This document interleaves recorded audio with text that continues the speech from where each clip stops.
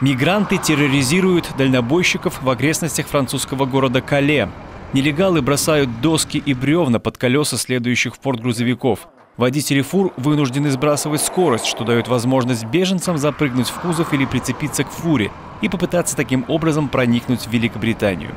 Если раньше это были просто попытки запрыгнуть на грузовики, то сейчас это уже похоже на настоящий террор. Водители большегрузов жалуются на ограбление, умышленное повреждение имущества, порезанные тенты, украденные или уничтоженные товары. Дальнобойщики требуют от властей оградить их от полчищ нелегалов.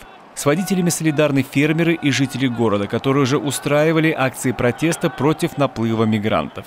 Между тем напряженность в скале нарастает. Из-за мигрантов происходят регулярные задержки в работе тоннеля под Ла-Маншем и порта. По данным гуманитарных организаций, в лагере беженцев, который получил название «Джунгли Кале», скопилось более 9 тысяч нелегальных мигрантов из Северной Африки и Ближнего Востока. Местные жители смотрят со страхом на разрастающиеся черные джунгли и откровенную неспособность властей защитить их от непрошенных гостей.